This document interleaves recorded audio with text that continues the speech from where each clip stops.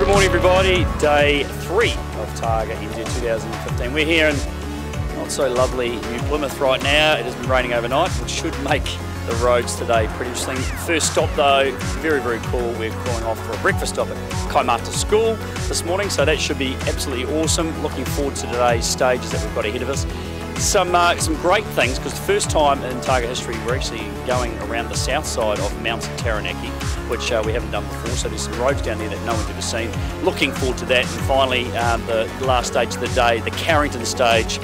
Quite infamous from what I am told, so hopefully uh, we'll be all right getting through that. But so far, my uh, trusty HSV Steed has looked after me very well. So looking forward to another great day here on Targa, um, some more fantastic New Zealand roads and awesome scenery.